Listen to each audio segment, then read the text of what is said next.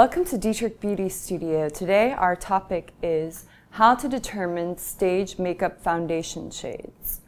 So what I'd like for you to think of when you're determining your stage makeup foundation is it needs to be dramatic because the lights will blow it out.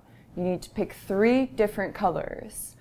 You're going to pick your mid-tone, which is the one that is most like your actual skin color. And I pick two almost always. And your highlighter. So I like to put one on the forehead and one on the nose to determine. And then your contour color, which will be the darkest. So I just like to take a little bit of each, kind of place them on the face, and that is how we will determine which stage makeup you're going to wear. Um, three different tones, a highlight, a mid-tone, and a dark tone, which will be your contour.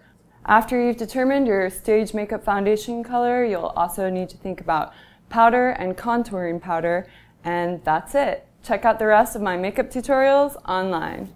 Thanks.